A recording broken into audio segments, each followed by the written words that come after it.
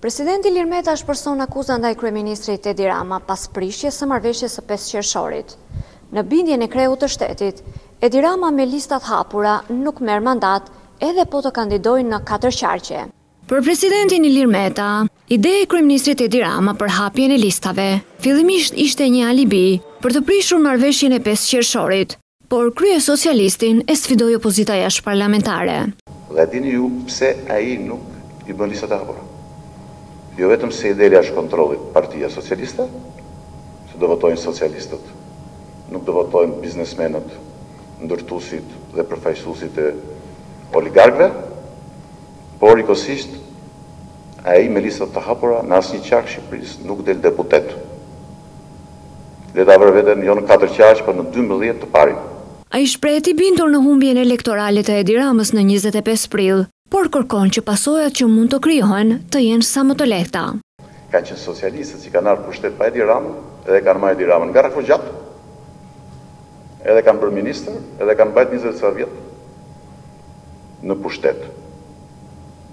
Kështu që ai t'i lërë lojërat me kodin, t'i lërë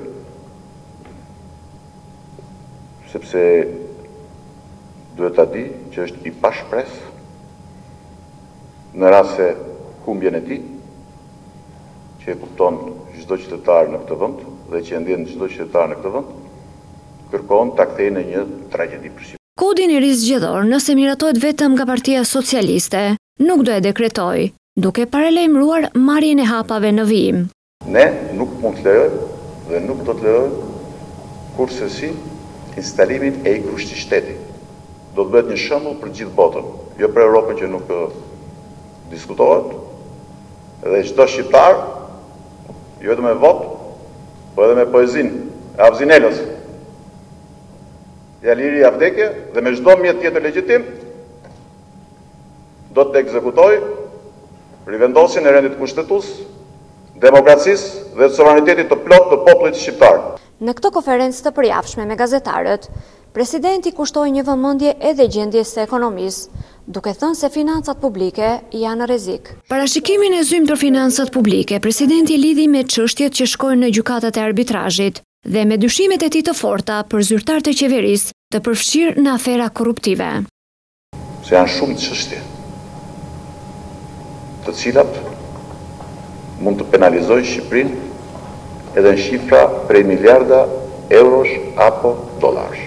E para. E dyta, shqetësimi im është se ka mundësi dhe ka dyshime të arsyeshme për një lojë të dyfishtë korruptive të zyrtarëve të caktuar të qeverisë. Kështu e sqaroi bashkëpunimin kreu i shtetit. Këta zyrtarë të korruptuar bashkëpunojnë edhe me investitorin i cili humbet kontratën në arbitrazh duke mos mbrojtur siç duhet interesat e shtetit shqiptar, duke përzgjedhur në mënyrë klienteliste ato kompani që duhet të mbrojnë shtetin shqiptar që i sugjeron kompania tjetër dhe në këtë mënyrë Ne shkojmë drejt një katastrofe financiare.